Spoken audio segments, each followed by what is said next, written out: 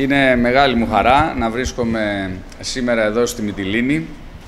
όπου αύριο θα γιορτάσουμε και τα 109 χρόνια από την απελευθέρωση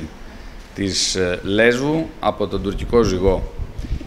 Γιατί ήρθα, ήρθα για να συζητήσουμε με όλους τους ε, φορείς, με όλους τον κόσμο τον αγροτικό, ε, με όλους τους ενδιαφέρονται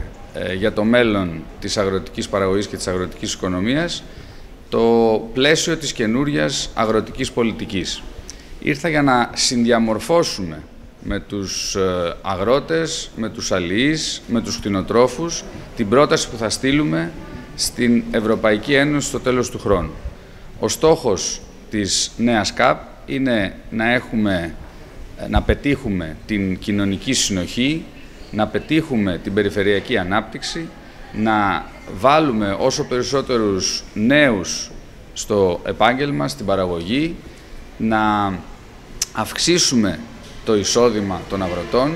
να δώσουμε προσθέμενη αξία στα ε, προϊόντα μας και όλα αυτά μέσα σε μια διαδικασία πράσινης μετάβασης που όλοι έχουμε αντιληφθεί πόσο αναγκαία είναι στο πλαίσιο της κλιματικής κρίσης που ζούμε.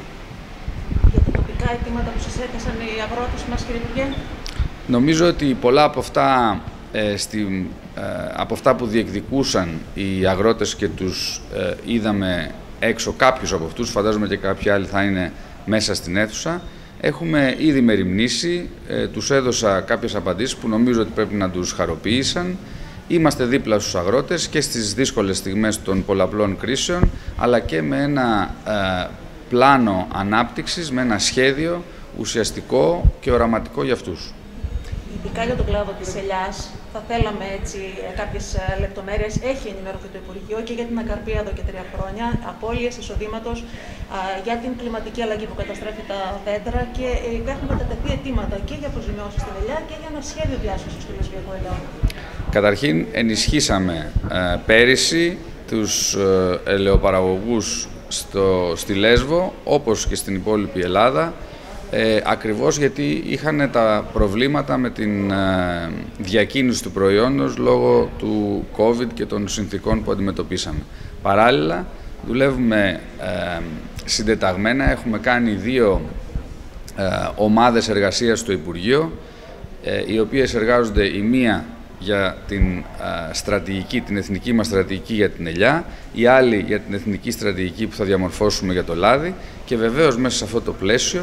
Συνεργαζόμαστε ε, με τους ειδικούς. Επικεφαλής είναι η κυρία Καλογύρου που έχει και πολύ καλή γνώση και από τη θητεία της ως ε, βουλευτής εδώ αλλά και ως περιφερειάρχης, ειδικά για τον λεσβιακό ελαιόνα όπως είπατε, για να μπορέσουμε να διαμορφώσουμε ένα πλαίσιο μέσα στον οποίο θα μπορέσει ακριβώς να έχει όλα αυτά τα καλά που σας περιέγραψα πριν, δηλαδή αυτή την προσθέμενη αξία και την ανάπτυξη. Ευχαριστώ.